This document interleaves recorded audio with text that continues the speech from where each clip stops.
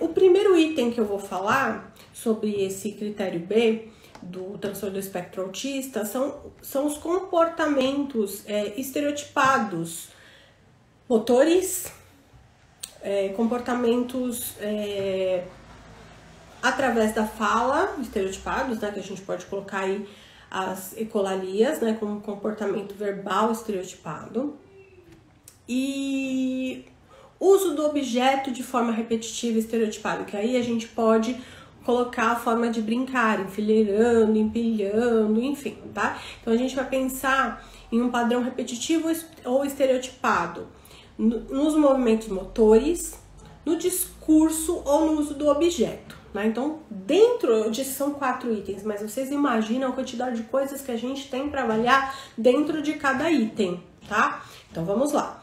Estereotipias motoras mais comuns são relacionadas a, a, mãos e parte superior do corpo, né? Mas tem também no restante do corpo.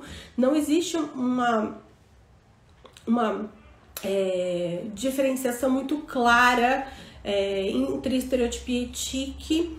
Isso é, na verdade, uma, uma pergunta, inclusive, de uma aluna lá dentro do curso. Né? O que a gente precisa avaliar o quadro geral, né? Muitas vezes as estereotipias e os tiques eles podem se parecer, e aí o que, o que vai fazer com que a gente verifique se isso é uma estereotipia do TEL. Não, é o restante do quadro, a comunicação social, os demais comportamentos, tá? Porque às vezes pode parecer sim como um tique ou uma mania, tá?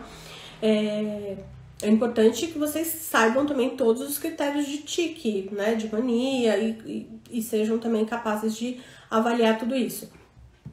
É mais fácil de diferenciar do toque, né? Porque o toque tem características bem específicas, normalmente é mais consciente, a pessoa realiza aquela ação para é, ou a, a, compulsão por um motivo que é, é, é consciente ali, na estereotipia e no tique não.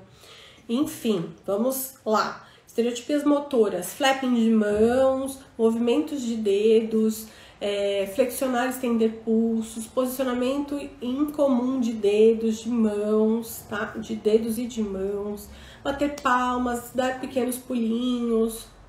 Muitos comportamentos são mais clássicos, né? E já são até é, direcionados ao TEA, né? Então, flapping de mão, por exemplo, uma criança fazendo flapping de mão, a pessoa olha já pensa em TEA. Andando na ponta do pé também já é um é um andar na ponta dos pés já é um clássico também da pessoa pensar em terra, mas não acontece só no terra, tá? Tanto o flapping de mão quanto o andar na, na, ponta dos pés. Por isso que é importante a avaliação de todos os critérios e também das três, quatro aulas anteriores que eu fiz, que é a, a da comunicação social. Então, estereotipias motoras, em geral, braços e mãos, tá? É, girar sobre o próprio eixo, né? sem uma função de interação com, com alguma coisa. Tem crianças que giram quando a gente está diante de um, de um ventilador ou mesmo sem nenhuma, nenhum estímulo.